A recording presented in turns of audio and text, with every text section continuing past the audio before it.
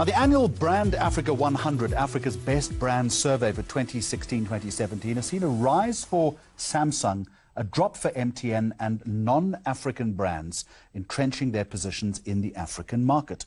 To discuss this uh, brand new survey for us is the founder and chairman of the Brand Leadership Group, Thebe Ikalafeng. Welcome back to the program. Not climbing mountains in the next couple of weeks? Because that's what you've been doing. Not, not yeah. in the next couple of weeks, but certainly in the next couple of yeah. months, I need to be climbing mountains. But this is also an important mountain to climb, mm. the mountain of brands in Africa. What a clever segue, sir. That was really good. Samsung rising to the most admired brand in Africa. What is Samsung doing? You know what Samsung is doing right is they are in all the 55 countries. And when I had coffee with the previous Africa CEO and recently with the, with the current uh, uh, leadership, they said to me, what we do right is we know every single market. And he was explaining to me, the previous CEO, that he had spent time in most homes in the entire continent. And he said, you know, when we look at the lights going down, we don't look at Africa as backwards. We look at an opportunity to create products that respond to that condition. So some people will say, oh, there's energy issues in, in Africa. And he says, no, no, no, there's energy opportunities because the sun is always up. Mm. Uh, so that's how they came up with the Build for Africa. But the second thing that they're actually doing right is not just presence, is um, they're actually present in many categories. So many of us, when we talk about uh, Samsung, you know, we look at the issues last year with Galaxy Note 7. Mm. It was limited to mobile, but not only that, they never ever launched Galaxy Note 7 in Africa, so they probably really never touched them. Where they are doing things right is they do fridges, mm. they do vacuum cleaners, they do air conditioners, so they are present in multiple mm. categories. So when a, when a consumer in Africa talks about Samsung, they talk about Samsung really present in many in, in many areas where they need uh, where, where they operate in the country. Now we know that the South African brand MTN has had difficulties in the past couple of years. It's dropped from top spot to nine overall, but retains top rank as the most admired African brand. It's going to take little comfort from that. Though. I think they should take comfort in that uh, while they have dropped so much, uh, they are still the standard by which building a great African brand is about. I mean, they're present in over 20 countries.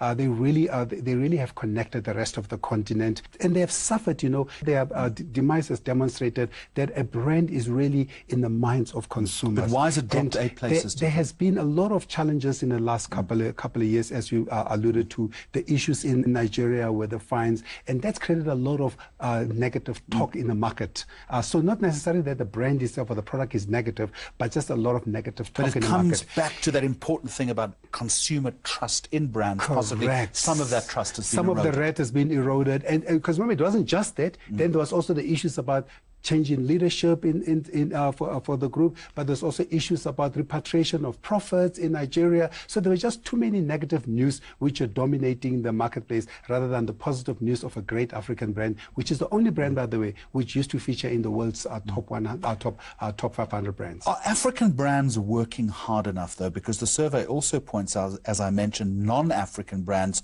are the top three brands in all markets except Nigeria, Uh, Kenya, and, and in Tanzania.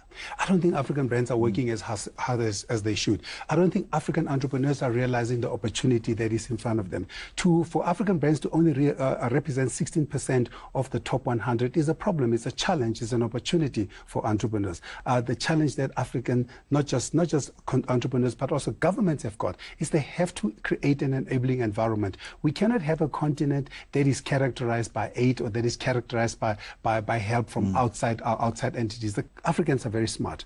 Africans are very creative. What they now need, they need a third, which is the most important thing. They need Africans to believe in Africa. Because, you know, when Africans look at made in Africa brands, they tend to look down on the products. They tend to look down on the services. They said made in Africa is not as desirable as a made elsewhere. But made in Africa is about the only distinction that we have worldwide. Some of the brands, Nigeria Glo, Kenya with the Safaricom and M-Pesa and uh, Tusker, Tanzania with Azam, uh, all featuring prominently in the survey. What are those brands doing to entrench that position in, in, the, in, in the top echelon? I think it's a combination of yeah. two things. The one thing is those countries you've, men, you've, you've, mentioned, Nigeria's got a very strong self, of, self, self sense of identity. You know, when you go to Nigeria, they collectively see themselves as Nigerians uh, with a strong national identity. Mm. The second thing that I think they're doing very well is they're very, very entrepreneurial markets. They are creating constantly creating products, constantly looking at ways to create products which solve their own problems and, and, and challenges. The two international brands um, that have made drops and gains, Lacoste, which is an old French clothing brand, I think it's the little crocodile. So it's a little crocodile, little crocodile. Of, of, by, um, a tennis player from France. That's made the most gain, and yet a, a global American brand, Levi's, has dropped in popularity. Do you have any thoughts? Lacoste has got new management. Yeah. So for the last couple of years, they've got new management. They made two billion, uh, two billion uh, uh, euro or, or, or, dollars. They get my numbers confused. A lot of money, mm. basically. So, uh, so the new manager, the new CEO, has come back. He's revitalized the brand, and most importantly, he's consolidated the brand and focused it on its core. Because you know what tends to happen is a lot of uh, people get a hold of your brands and they want to spread it mm. widely. Consolidate the brand, put in the right management, put in the right brand management, and is investing in so the brand. all about leadership. What so about, all about leadership. Levi's? Uh, Levi's is exactly all about leadership as mm. well. They've lost leadership. They're not as cool as they used to be, and as a, as, as a result, they have struggled to uh, to gain traction. They've struggled also um, against many other brands because remember now mm. they've got the G Stars to compete with. But not only else they've got the G Stars and many other uh, fashion brands to compete with, but also have to compete with all apparel. Thebe Ikalafeng, thank you very much. Thank you so much.